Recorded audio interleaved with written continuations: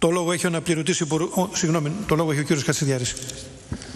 Στις 5 Νοεμβρίου του τρέχοντος έτους, ο Υπουργός για την καταπολέμηση της διαφθοράς, κ. Παπαγγελόπουλος, στην Ολομέλεια της Βουλής έθιξε ένα μείζον ζήτημα, ένα ζήτημα εθνικό, διότι αφορά ένα σκάνδαλο πολιτικής διαφθοράς που εμπλέκει πάρα πολλά στελέχη του παλαιού μνημονιακού κατεστημένου.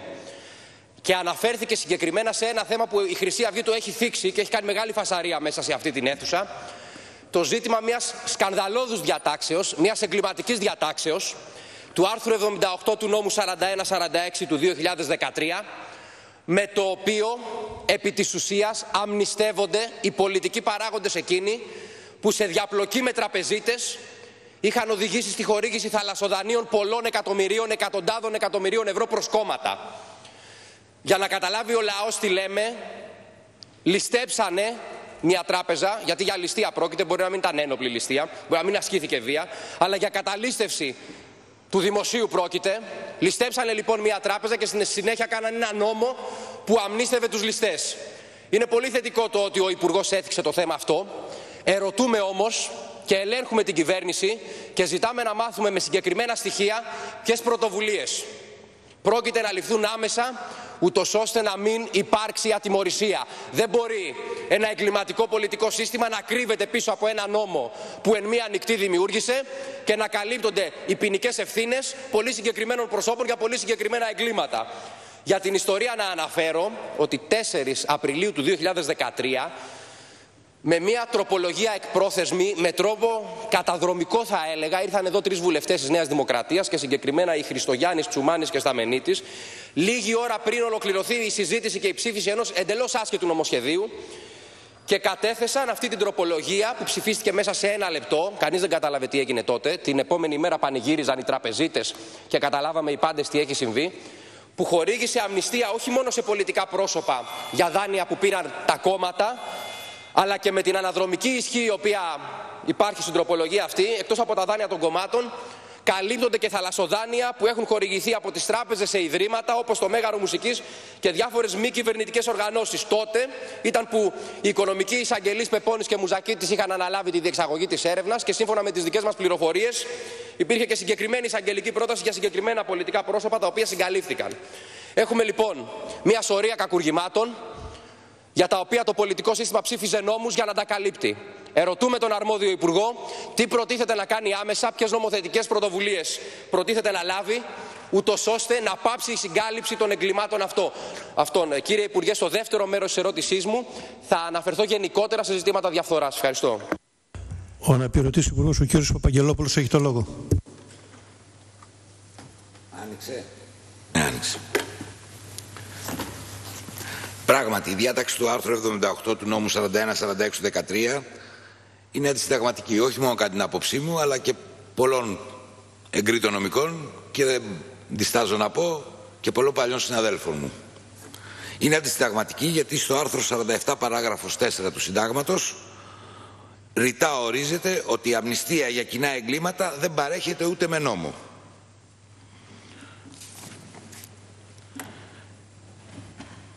Προς την κατάργηση της διάταξης του άρθρου αυτού που ψηφίστηκε νύχτα με τροπολογία όπως είπατε έχω συνονιθεί με τον Νίκο τον Παρασκευόπουλο ώστε να, καταργηθεί, να καταργηθεί άμεσα η διάταξη αυτή. Όμως πρέπει να γνωρίζουμε όλοι ότι η κατάργηση της διάταξης αυτής από μόνη της δεν επιτρέπει την τιμωρία των υπετίων γιατί η αναδρομική ισχύ δεν μπορεί να υπάρξει. Δυστυχώς λέω εγώ. Αλλά έτσι είναι. Το Υπουργείο Δικαιοσύνης μελετά επισταμένος τον τρόπο κηρύξεως αντισυνταγματικής της διάταξης αυτής, η οποία, αυτό, το οποίο μπορεί να γίνει μόνο από τα αρμόδια δικαστήρια. Θέλω να πιστεύω ή μάλλον προτιμώ να πω ότι είμαι βέβαιος ότι οι αρμόδιοι εισαγγελείς θα αναλάβουν τις αναγκαίες πρωτοβουλίες ώστε τα αρμόδια δικαστήρια να διαπιστώσουν την αντισυνταγματικότητα της διάταξης αυτής. Εδώ όμως θέλω να πω κάτι μπορεί να είναι αυτονόητο, αλλά μερικές φορές και τα αυτονόητα πρέπει να λέγονται. Είναι αυτονόητο λοιπόν ότι τα πιστοτικά ιδρύματα θα επιδιώξουν, αν δεν έχουν ήδη επιδιώξει, την ίσπραξη των απαιτήσεων από τα δάνεια αυτά. Ή και από τα άλλα κοινοφελία ιδρύματα που μπορεί να καλύπτονται από τη διάταξη αυτή. Θέλω να πω ότι υπάρχει ενδεχόμενο, αν δεν το πράξουν αυτό, να διατρέξουν τον κίνδυνο να διωχθούν για απιστία. Δηλαδή για τη μην ίσπραξη των απαιτήσεών τους. Και μάλιστα κακουργηματική. Με ρωτάτε για τους εμπνευστές της διάταξης αυτής. Τους γνωρίζετε, τους αναφέρατε. Θέλω να πω ότι είναι αυτοί που κατέθεσαν και αυτοί που ψήφισαν την τροπολογία της διάταξης αυτής όταν ο έντιμος και αδάμαστος αγγελέας Γρηγόρης Πεπώνης άρχισε να διερευνά αυτά τα δάνεια. Είναι αυτοί που στη συνέχεια φρόντισαν να εξωτερώσουν και τον Γρηγόρη τον Πεπώνη και τον συναρφό του Σπύρο Μουζακίτη.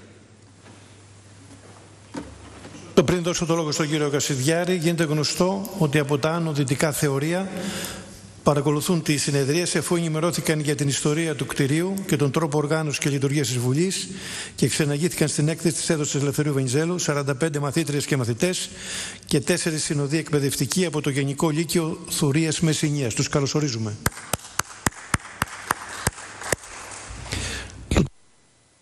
Το λόγο έχει ο κύριος Χασιδιάρης. Λοιπόν, είναι πάρα πολύ σημαντικό το ότι θεωρώ είναι για η πρώτη φορά που μέσα στη Βουλή των Ελλήνων υπουργός παραδέχεται και δηλώνει μάλιστα ότι θα λάβει και μέτρα και πρωτοβουλίες. Είναι πάρα πολύ σημαντικό, αυτό το τονίζω, ότι υπάρχει παραδοχή πως συγκεκριμένα πολιτικά πρόσωπα έχουν εγκληματίσει, έχουν παρέμβει στη δικαιοσύνη, όπως είπατε, το έργο, το θετικό έργο των οικονομικών εισαγγελίων Πεπώνη και Μουζακίτη σταμάτησε με παράνομο τρόπο και βλέπουμε την πρωτοβουλία σε αυτή πάρα πολύ θετικά. Διότι η Χρυσή Αυγή δεν είναι ένα κόμμα που κάνει στήρα αντιπολίτευση. Εδώ μας βλέπετε μονίμως βεβαίως.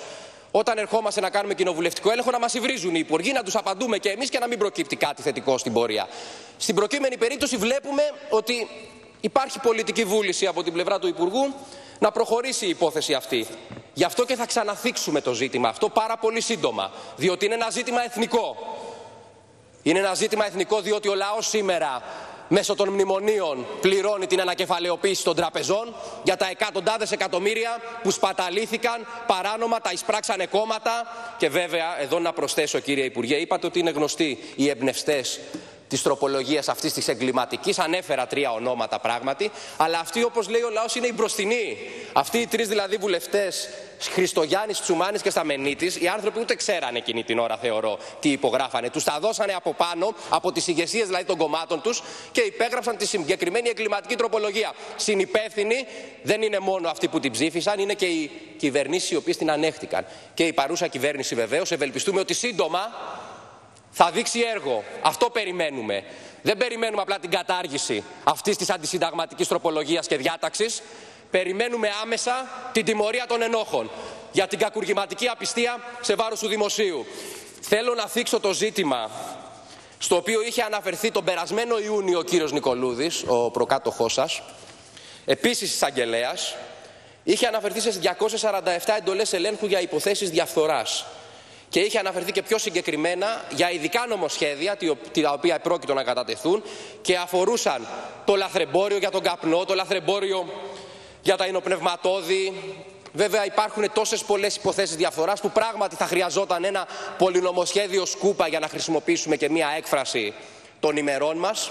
Τι πρωτοβουλίες λοιπόν πρόκειται να ληφθούν ως προς αυτή την κατεύθυνση και κυρίως το βασικότερο, για να λέμε τα πράγματα με το όνομά τους, δεν είναι να γίνουν νέοι νόμοι. Είναι να καταργηθούν οι εγκληματικοί νόμοι, οι οποίοι ισχύουν σήμερα και οι οποίοι διαιωνίζουν την πολιτική διαφθορά στην Ελλάδα. Ερωτώ λοιπόν συγκεκριμένα, προτίθεται να αναλάβει πρωτοβουλίες ο αρμόδιος υπουργός και να πιέσει την κυβέρνηση, γιατί από άποψη πρωθυπουργού δεν βλέπουμε καμία απολύτως πρόθεση για να καταργηθεί το εγκληματικό, εκτροματικό νομοθέτημα ο περιβόητος νόμος Βενιζέλου, ο νόμος περί ευθύνης υπουργών. Εκεί είναι η ρίζα του κακού λοιπόν. Και μόνο με την κατάργηση της βουλευτικής ασυλίας και φυσικά του νόμου περί ευθύνης υπουργών μπορεί επιτέλους να υπάρξει διαφάνεια στην Ελλάδα και μπορεί να υπάρξει πολιτική κάθαρση. Δυστυχώς διαιωνίζεται η κατάσταση αυτή της εγκληματικής, της διαφθοράς η οποία πνίγει τη δημόσια ζωή. Γνωρίζουμε πολύ καλά ότι ακόμα και νυν υπουργός, ο κύριος Λαμπουράρη, ελέγχεται αυτή τη στιγμή για ανακριβές ποθενέσχε και μάλιστα διαβάζουμε στον τύπο ότι θα έρθει η υπόθεση αυτή με τον νόμο περί ευθύνης υπουργών. Κάτι που εγώ, που δεν είμαι νομικός, θεωρώ ότι είναι απαράδεκτο.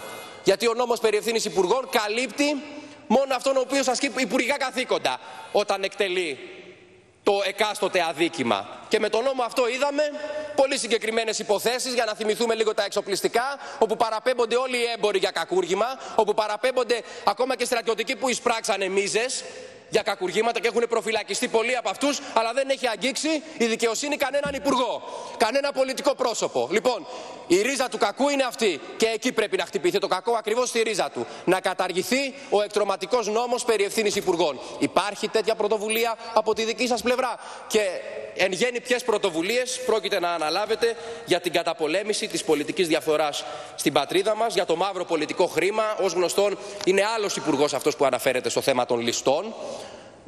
Κατά τη δική μας γνώμη δεν είναι αρμόδιος όμως ο Υπουργός των Οικονομικών. Δεν είναι αρμόδιος ο κύριος Αλεξιάδης να μιλήσει για τις λίστες και για τις offshore εταιρείε.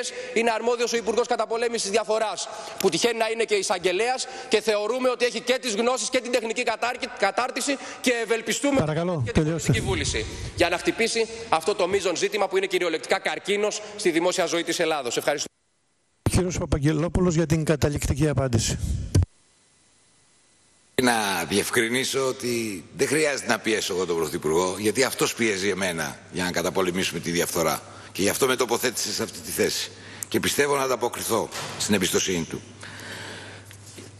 Α, για τις 247 υποθέσεις διαφθοράς που είχε αναφέρει ο κύριος Νικολούδης είμαι σε, σε ευχάριστη μπορώ να πω, θα θέλαμε ακόμα σε πιο ευχάριστη να ανακοινώσω ότι ήδη έχει ολοκληρωθεί ο έλεγχος, 21 υποθέσεις έχουν παραπευτεί στον εισαγγελέα, 85 υποθέσεις ελέγχονται και πήκεται το πέρας τους, 12 έχει ολοκληρωθεί και θα διαβαστούν στον εισαγγελέα και οι υπόλοιπες ακόμα εκκρεμούν στα αρμόδια ελεκτικά όργανα. Για τις δράσεις και τις νομοθετικές πρωτοβουλίες που ρωτήσατε, θέλω να σας πω ότι είναι έτοιμα και θα κατατεθούν ή είναι σχεδόν έτοιμα νομοσχέδια για το πόθεν έσχες, νομοσχέδια για την αναμόρφωση και ενίσχυση του οικονομικού εισαγγελέα και του εισαγγελέα διαφθοράς, νομοσχέδια για τη χρηματοδότηση των πολιτικών κομμάτων που ρωτήσατε πριν, νομοσχέδια για ενοποίηση όλων των ελεκτικών μηχανισμών που υπάγονται στη Γενική Γραμματεία Καταπολέμησης της Διαφθοράς, νομοσχέδια για την προστασία μαρτύρων δημοσίου συμφέροντος. Και άλλα πολλά που δεν, για να μην χάσω και το χρόνο που έχω, ε, υπάρχει επίσης και μια συμφωνία, είναι λίγο επίκαιρο αυτό το θέμα, με το Ομοσπονδιακό Κρατίδιο της Βορείου Βεστφαλίας Ρηνανίας για ανταλλαγή τεχνογνωσίας, από τους οποίους πήραμε και τη λίστα που θα διαβάσατε τις τελευταίες μέρες και εδώ θέλω να κάνω μια παρατήρηση. Ε, αν για τη λίστα Λαγκάρντ χρειάστηκαν τρία χρόνια για να ξεκινήσουν οι έρευνες και δεν ξέρω που έχουν φτάσει τώρα, η συγκεκριμένη λίστα ήδη ή έχει παραδοθεί παραδίδει το αμέσως, τις, επόμενες, τις αμέσως επόμενες ώρες στον οικονομικό εισαγγελέα. Θέλω να σας γνωρίσω ότι πριν έρθω εδώ συναντήθηκα με τον κύριο Βασιλιάδη και τον κύριο Αλεξιάδη. Κανονίσαμε τον τρόπο δράσης. Η λίστα αυτή δεν θα έχει την τύχη προηγουμένων ληστών. Θα έχουμε σύντομα αποτελέσματα. Καταρτήσαμε κοινό σχέδιο δράσης. Επίσης θέλω να σας πω ότι η κυβέρνηση σημερινή έχει τη θέληση και εγώ έχω επιφορτιστεί να το πραγματώσω να δώσω τέλος στην ασυλία που υπάρχει. Και θέλω να πω και κάτι εδώ, επειδή κάτι ακούγονται για δικαστικά πραξικοπήματα, πρέπει να ξέρετε ότι η σημερινή κυβέρνηση ούτε νομοθετικές πρωτοβουλίες σαν και αυτές που συζητήσαμε πριν, ούτε δικαστικά πραξικοπήματα θα ανεχθεί. Σας ευχαριστώ. Και εμείς ευχαριστούμε.